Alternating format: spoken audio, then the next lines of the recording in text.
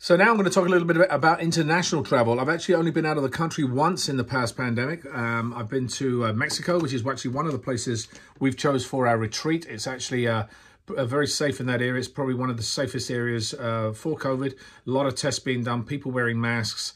Uh, we actually will have, uh, um, or we have already negotiated with the hotel to actually have free COVID testing because that's what you have to do when you come back out of the, uh, the country, back into the US uh, is to actually have a, a, a test done. However, it's not asked for when you come through the lines in the US.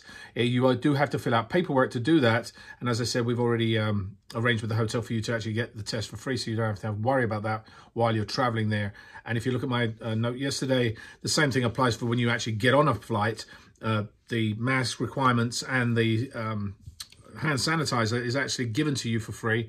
So um, I wouldn't worry about traveling so much. I think uh, travel now needs to be done and get out there before you're too old to do it or too uh, busy to do it or too, uh, you know, stuck with children or a new job to do it. Get out there, do, do that. Do your international travel. It's important.